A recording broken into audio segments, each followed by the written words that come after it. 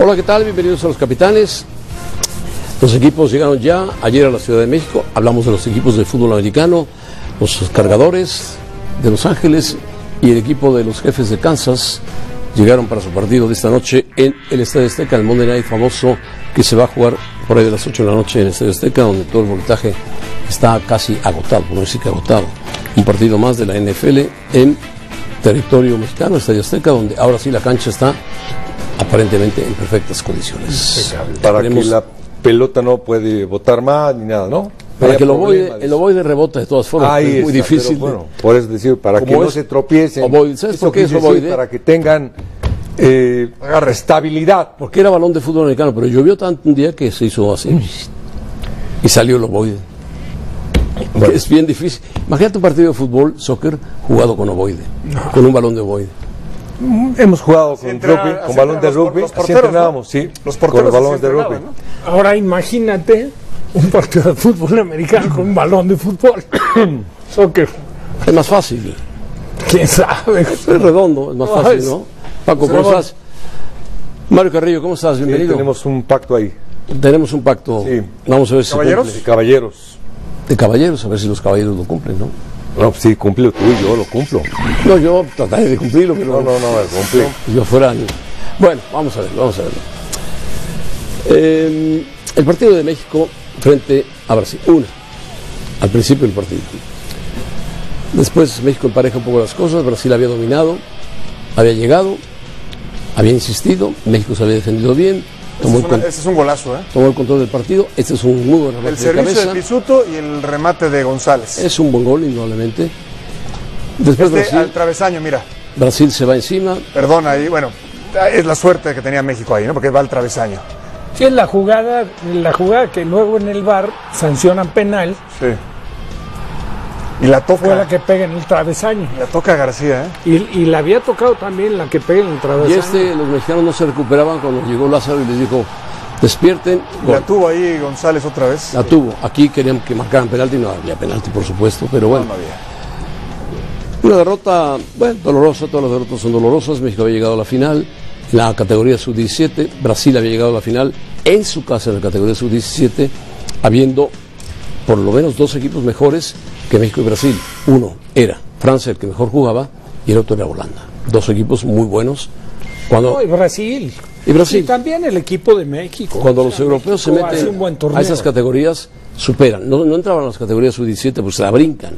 Se la brincan a, a 19 y a 21, que están ya en los equipos profesionales. Pero bueno, el equipo de México dio un buen partido, hay que felicitarlos y esperar que los clubes, en este caso el Pachuca, el Atlas, el Guadalajara, que prestaron varios jugadores, los arropen y los traten de ir llevando, llevando, llevando, llevando poco a poco hasta que alcancen la categoría sub-19, que sean los futuros olímpicos y que algunos lleguen al profesionalismo, porque no solamente en México, en varios países del mundo se diluyen estas categorías. Si a este equipo, José Ramón, se le dan partidos internacionales, se le respeta a Panamericanos, se le respeta a Toulon, la evolución se asegura.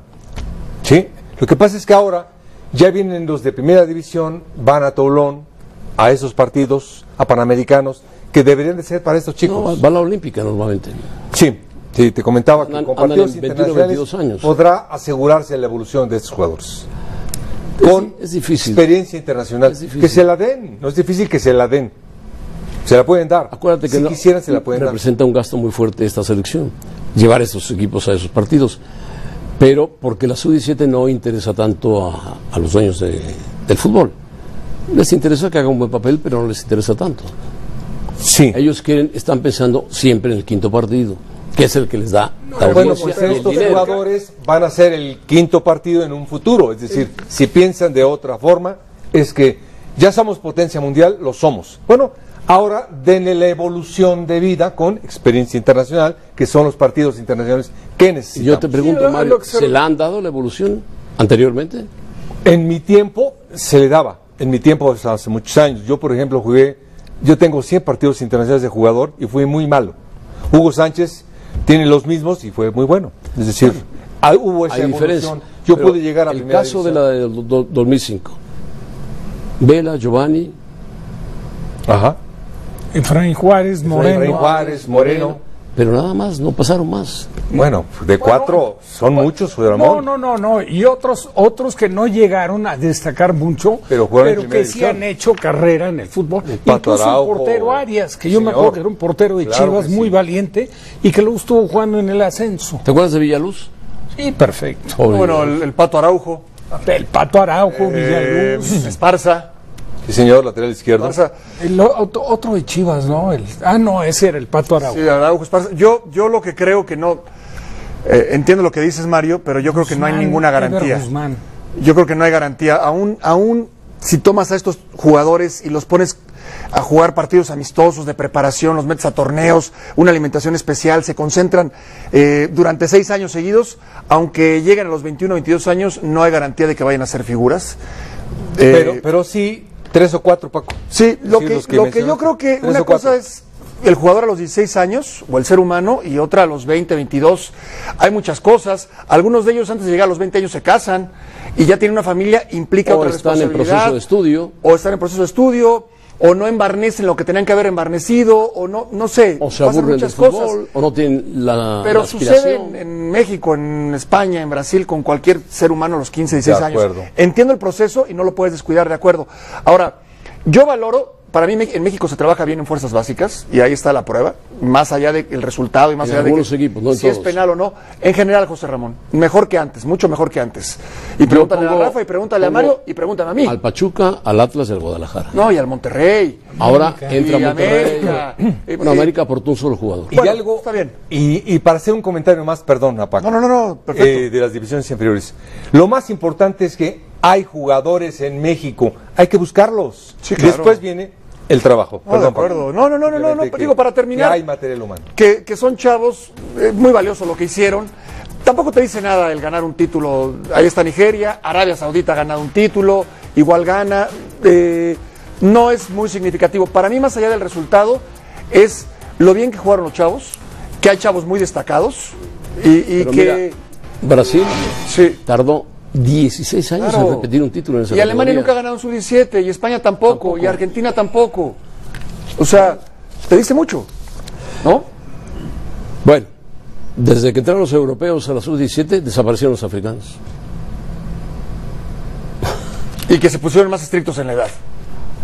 Sí, pero bueno, Bueno, si ves los orígenes de los integrantes de la selección de Francia, me parece que Eran los el, chavitos. el 90% son de origen africano. Sí, todos. Y, y los en Holanda también. Holanda también. Y en Holanda también.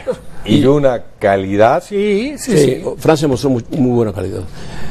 Y bueno, teníamos la costumbre en México de decir, no fue penalti, el hábito es un ladrón. Bueno, la otra, no ganamos porque los africanos traen bigote y traen barba. Y resulta que los cachirules fuimos nosotros, nosotros. Eso es cierto. Eso es verdad. Sí, eso es un, Y nos un castigaron hecho. duramente. Es Bueno, un hecho. son recuerdos de la historia del fútbol mexicano. Tata Martino habló hoy sobre la sub-17 y me imagino que habló un poco sobre Bermudas en México, que no hay mucho de qué hablar. El trabajo de la sub-17 fue este, muy pero muy bueno, este, no solamente porque han hecho un gran torneo, sino porque los chicos han jugado con una gran personalidad. Ayer eh, una final con el equipo local, con lo que representa el fútbol en Brasil y este, lo más importante creo que es lo que viene. Es decir, no, es tan importante el- el campeonato del mundo en este caso, sino todo lo que viene para cada uno de esos chicos y todo lo que podamos hacer entre todos, sean los clubes a los cuales pertenecen, la federación, las diferentes selecciones, cómo continúa su vida este, participando o perteneciendo a la selección en las categorías que, siguen.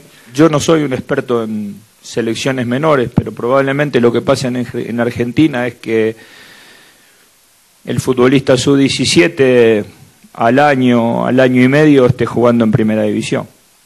Inclusive puedo hablar por una experiencia personal que quedó muy a lo lejos. A mí me tocó debutar en primera división a los 17 años.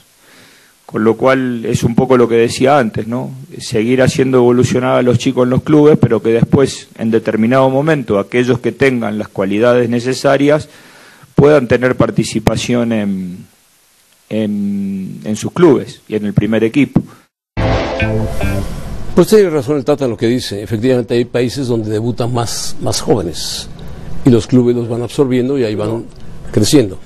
Pero esto no es otra cosa, sino la consecuencia del trabajo que, por ejemplo, en el caso de Argentina, lo sabemos todos, los clubes han sido históricamente fábricas de jugadores. Sí. El hecho de tener videos de Maradona, de Messi, desde que tenían ocho años, que ya les veían las condiciones siempre, casi siempre, dentro de una institución, todo esa, esa formación, pues sí, lógico, es algo de lo que también históricamente México ha padecido y que sí se ha, se ha tomado mucho mayor responsabilidad, se ha venido trabajando mejor, pero no se ha llegado a esos alcances. Y qué bien, y qué bien lo, lo expresa el Tata Martino. Muy bien, Primero claro, dice, yo no claro. soy experto en formación de jugadores, muy bien dicho.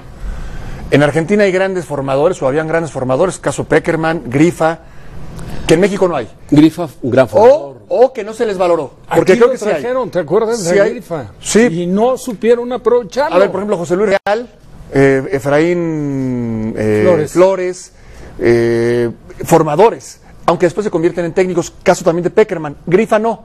En Argentina, me parece que en Uruguay, en España. de. Sí, son formadores, José Son formadores. Son formadores. Después dice él, eh, es cierto, estos jugadores en el proceso a los 17 años ya debutan y tienen continuidad. ¿sí? Así pasó con Messi, así pasó con Agüero y con todas las Y a los figuras. 19 años los venden. En México no. En México ahí se rompe, ese, ese, ese proceso se rompe. ¿Por qué?